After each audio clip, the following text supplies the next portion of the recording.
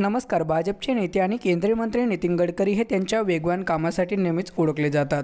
त्याचबरोबर सगळ्याच पक्षामध्ये नितीन गडकरी यांचं कौतुक केलं जातं. यामध्येच आता राष्ट्रवादी काँग्रेसचे सर्वेसर्वा खासदार शरद पवार यांनी देखील मंत्री नितीन गडकरी यांचं तोंड भरून कौतुक केलं आहे. त्यामुळे राजकीयतेमध्ये एकच चर्चा सुरू झाली आहे. दरम्यान नितीन गडकरी आणि शरद पवार हे अहमदनगरमध्ये एकाच मंचावरती आले होते. यावेळी नितीन गडकरींच्या कामाचं कौतुक करत असताना शरद पवारांनी गडकरींवरती स्तुती सोमणे उधळले आहे. दरम्यान आज देशाच्या कोणत्याही राज्यात गेलं तर त्या ठिकाणी असलेले उत्तम रस्ते पाहण्यात मिळतात.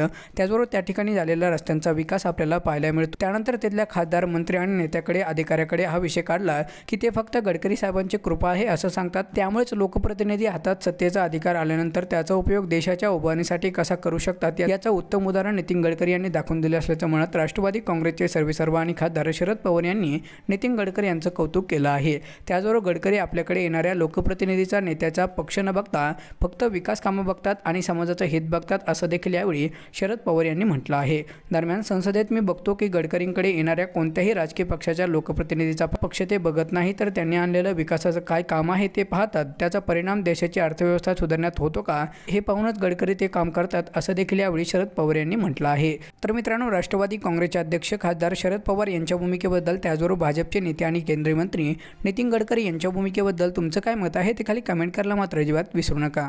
नमस्कार मित्रांनो मराठी आवाजमध्ये तुमचं सर्वांचं स्वागत. तर मित्रांनो चॅनलला सबस्क्राईब करून बेल आयकॉन नक्की दाबा जेणेकरून दररोज नवीन चालू आणि ताज्या घडामोडी सगळ्यात अगोदर तुमच्यापर्यंत पोहोचतील.